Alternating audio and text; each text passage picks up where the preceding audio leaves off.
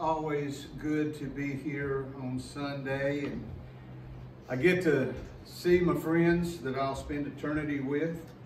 Um, get to sing a little bit. That's always an encouragement.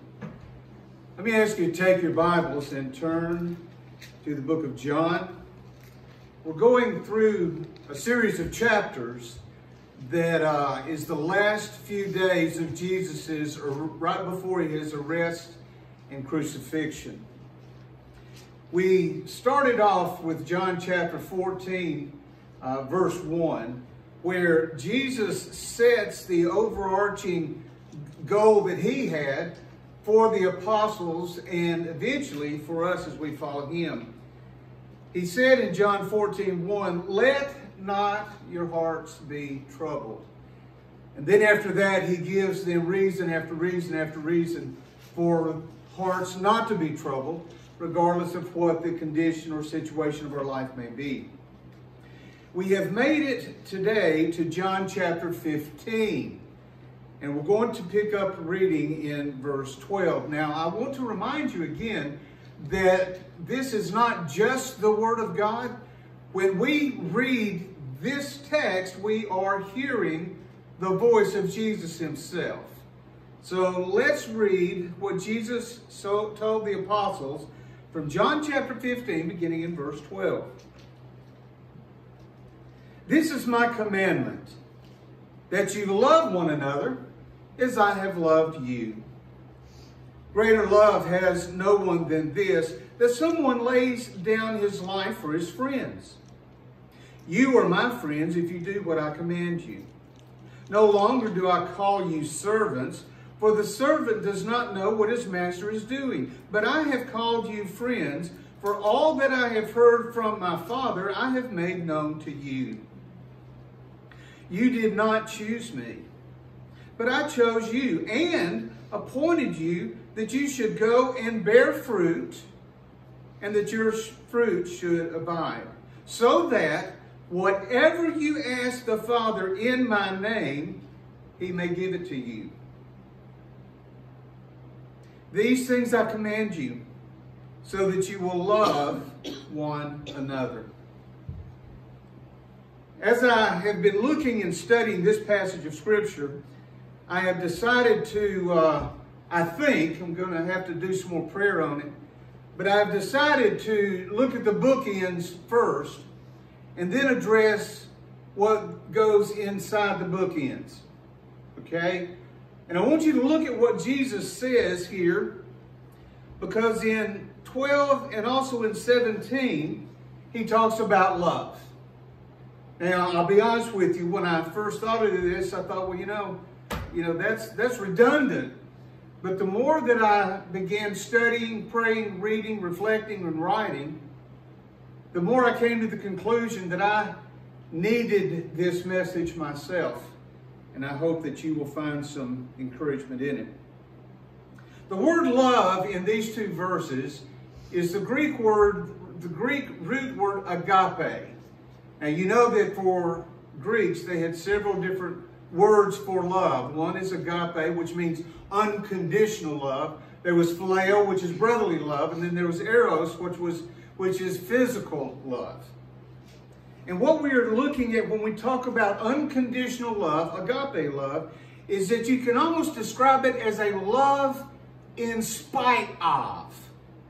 In other words, the kind of love that Jesus is talking about here is the kind of love that we are have are to have for people in spite of what happens. The world, they don't have that kind of love. You don't do what they want, they don't care, they never loved you to begin with. Uh, they will say they love you as long as you provide what they want. But that is not the kind of love that Jesus is talking about here. Agape love is a sacrificial love on the part of the person that is doing the loving. Sacrificial love begins in the heart and flows from there.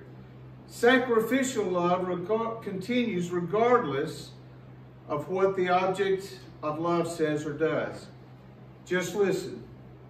Acts chapter 2, verses 42, 44 through 45. Acts 2. I, because what I want you to see is what love looks like.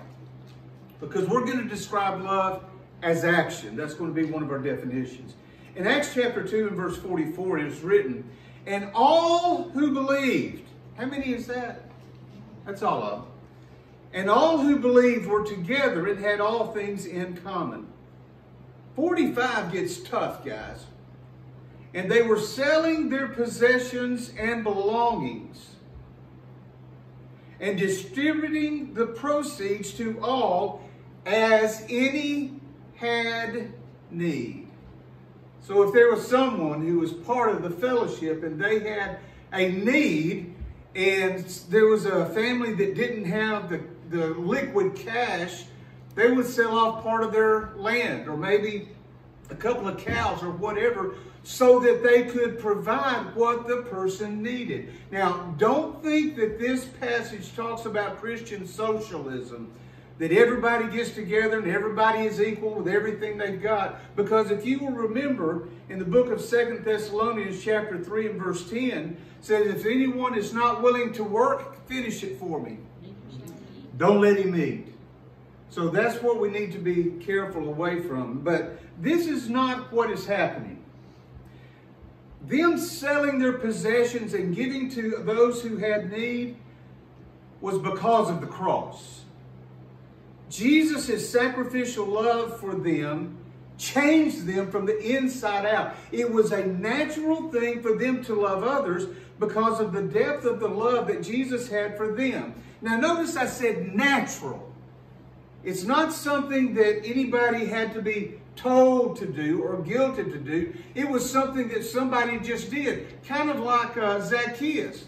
You remember that once he, when he came down from the tree, he started, you know, making everything right with people that he had stole from. Jesus didn't tell him to do that. It came natural as part of the heart. Now listen. To a great degree, the people of God do not need to be told by some loudmouth preacher about what you ought to be doing or how you ought to be living. Do you know why? It should come natural. It should come natural for all of us as we see and read the scripture. And I'll tell you, I'll guarantee you it has happened with every one of us multiple times. Because we see somebody in need and the Holy Spirit prompts us. And by the way, he doesn't always yell. Most of the time he whispers. And he says, hey, Ron, you've got three belts. You only can fit in two. Why did you laugh, Joel? you got three belts? Okay, you fit in all of them? Yeah, okay. Well, but there are times when the Holy Spirit will prompt us and we will rationalize it away. How do I know that? Because I've done it. And so I'm suggesting that what we need to do is to be more sensitive to the leading and prompting of the Holy Spirit, because that's what happened there. The Holy Spirit prompted them, hey, you've got an extra, you've got a back 40 you're not using, or you have a back 40 you are using, but look what they need. And then their love that Christ showed them continued through their love to encourage and help others.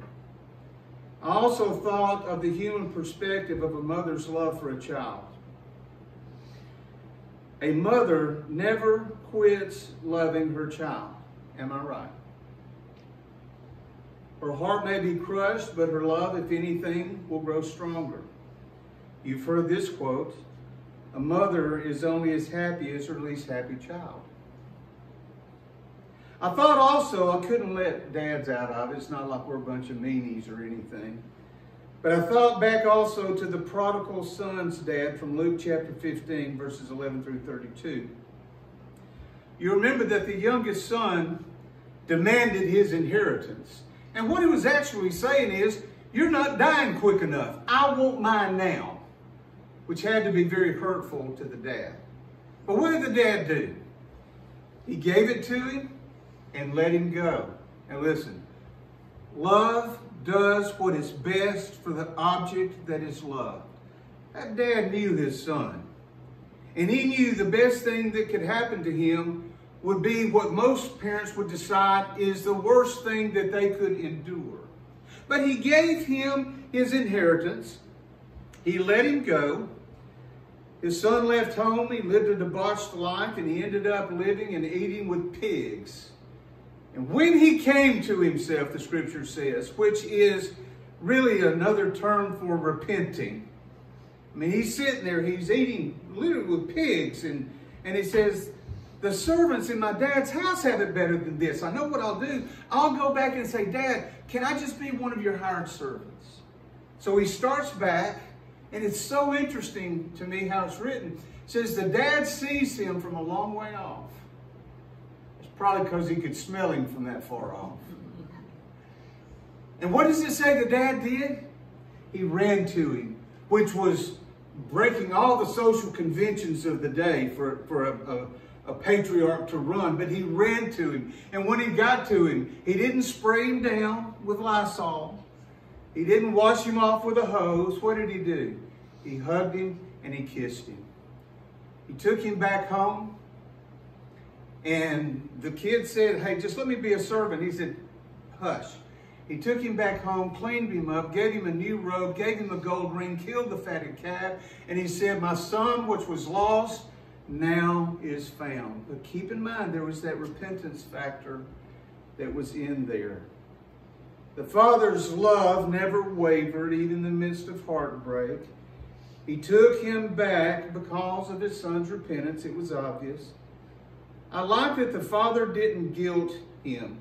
How many of us, and it's not because my mom's not here, my mom never did this, but I have talked to many, many people over the years who one or both parents guilted them into doing the things that they did or did not think they should do.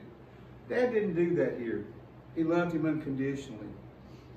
And it showed. Now, I do want you to turn to 1 Corinthians 13. Remember, we're, we're trying to get to a good definition of love where Jesus says, I command you to love others as I have loved you. And so what we're trying to do is get ourselves a, a, a, a, point of reference for what kind, what love is, what it looks like, and how it happens. And, and this, this is where, honestly, this whole message, I just kind of got yanked around, but that's okay. Y'all are going to get to do it now.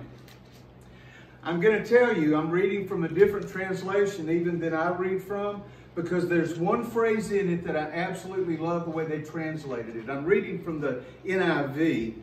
Now, it's the love passage. And just let me say, that's not a wedding passage. This is not about weddings. It's okay to read them at weddings. It's a good thing to read them at weddings. But what Paul is writing is not about a wedding. He's talking about love from God and also the way it looks in us. Let's read. Love is, I got to stop. That word is right there is the Greek verb that means continuation. In other words, it means that love keeps on being, is the idea. Love is patient. Let's use the old, let's use the little thing that love keeps on being kind. It does not envy, it does not boast, it is not proud. It does not dishonor others. It is not self-seeking. It is not easily angered. And here's the phrase I like the most. It keeps no record of wrongs. Love does not delight in evil, but rejoices with the truth. It always protects, always trusts, always hopes, always perseveres. Love never fails. And that word fail there means to means that it never ends nor can it be destroyed. This is the kind of love that Jesus Christ had slash has toward his children. And because we are to be more like Christ, guess what? This is the description of the kind of love or what love looks like in our own lives with those around us, with those who are brothers and sisters in Christ, and yes, including our blood family. I have a, a, a, a I have some blood family members right now that because of because of my dad, there's bad blood. Boy, I didn't know I was going to end up saying that. But they don't want to have a whole lot to do with me and my family. And every time mom and I have reached out, we've been, you know, but, but so I, am what I'm saying is, is that love doesn't quit. We still love people even though there's difficulties within family issues. At this point in preparation, after reading the 1 Corinthians 13 passage, I had to slow way down. I had to take a couple of days and, and let that settle in. I had to do some serious evaluation. To be honest with you, I'm still doing it and trying to figure it out in some areas. I will tell you this, good friend of mine told me. I told him, I said, look, you know, I'm reading this about love and what I'm coming to, and I said, man, I, I, I feel helpless. I mean, I, there's no way, I, I will fail. I'm a failure at this, and I will fail at it. And he made an excellent, excellent point. He said, Ron, the only way that this can be approached, that we can get better at, that we can become, is through the presence and the indwelling and work of the Holy Spirit. That means that we, remember we've talked before about being more loving, more forgiving, more merciful. It's the idea of us growing into this. And that, that, that helps me and helped me feel a lot better. And then I read Ephesians 4, 31 and 32 because it gave me some encouragement and strength. First, it was a little bit slippery, but in the end, it was solid ground. Paul wrote, he said, let all. Now, how many times have we asked that question? How much is all? It's everything. All, every bit of it. Let all bitterness and wrath and anger and clamor and slander be put away from you along with all malice. Do any of us here have any degree of a grudge towards somebody else maybe that we haven't even told people about. The only reason I bring that up is because the Holy Spirit gave me a name. And I'm not, I'm trying, trying I'm afraid he's going to give me three or four. but I mean, look at what he is saying here. Let all bitterness and wrath and anger and clamor and slander be put away from you along with all malice. Be, it's that word again. Keep on being kind to one another, tenderhearted, forgiving one another. And look at the last phrase. What is it? As God in Christ forgave you, and He forgave us because of His love. So, what is the foundation for me forgiving and loving and showing mercy? It's because of what Jesus did on my behalf. He doesn't hold grudges against me. Romans 8 1. There is therefore now what? No. no condemnation. Well, if there is no condemnation between me and God, how dare I hold a grudge to anybody on this earth? I killed God's son. How dare, and he forgave me. How dare I be so arrogant as to not forgive someone else.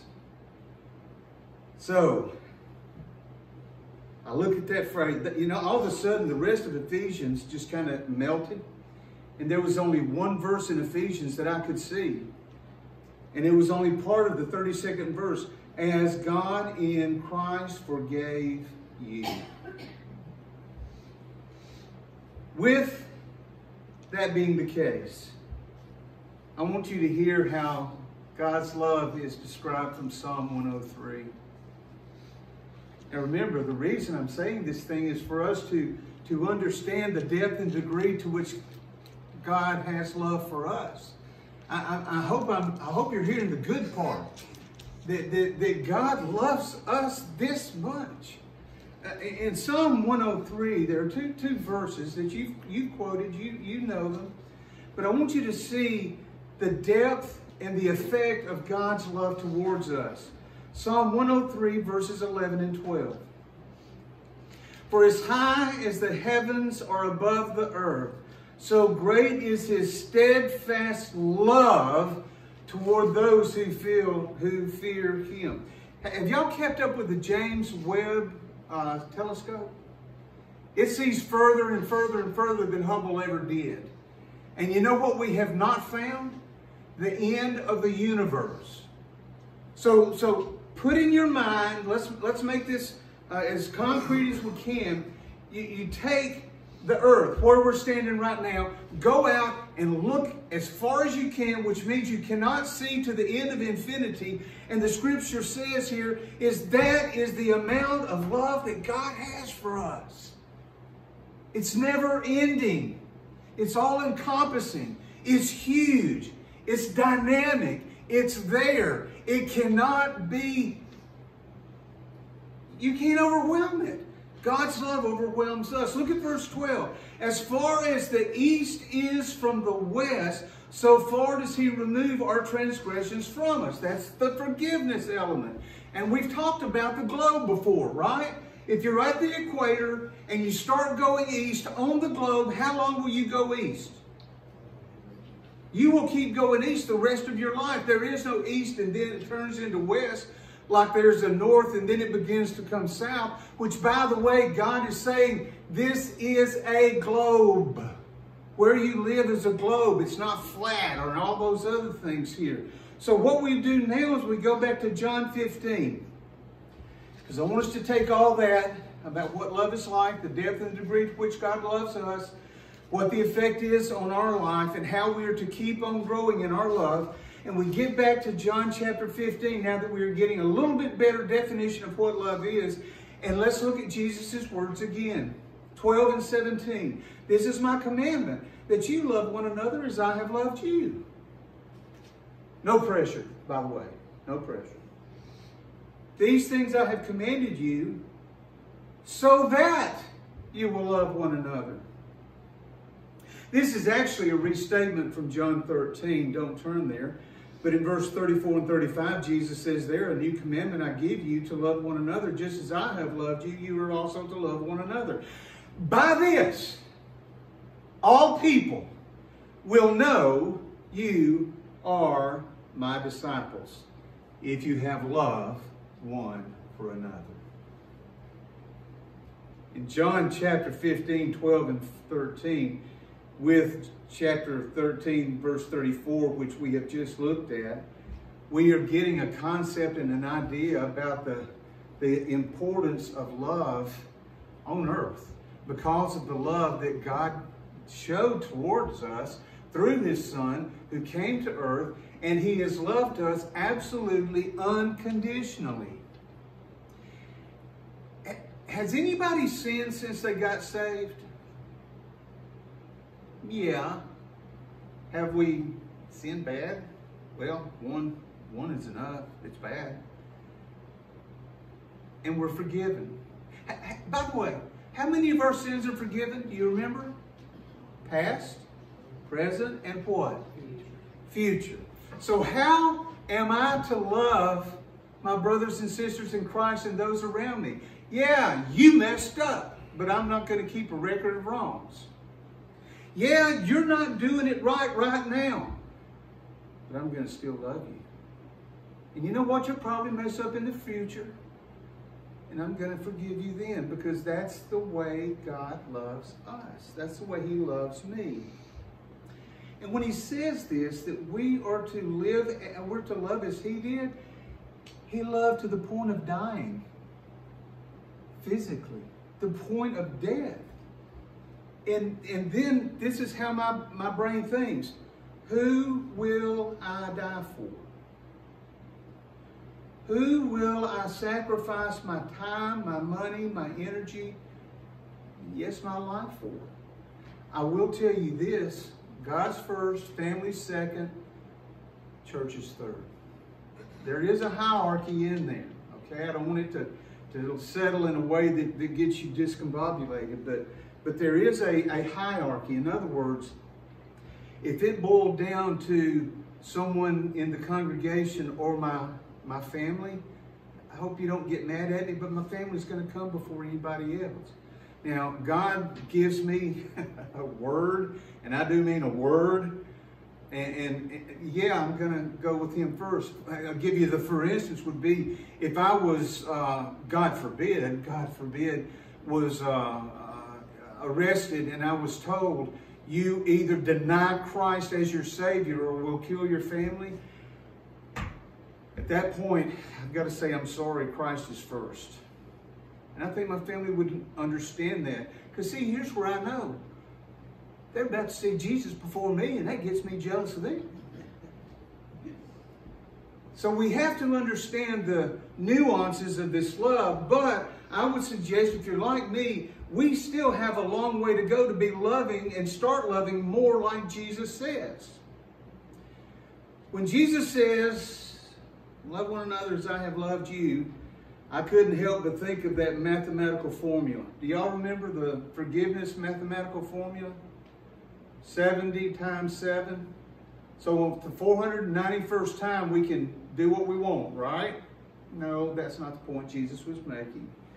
But he does say that we are to keep on forgiving. Why? Why are we supposed to love each other? In that little phrase that Jesus said, he says, By this all men will know you are my disciples, by your love one for another. Is it any wonder that there are people that will not that will not grace a congregational meeting because of how they have seen Christians treat each other?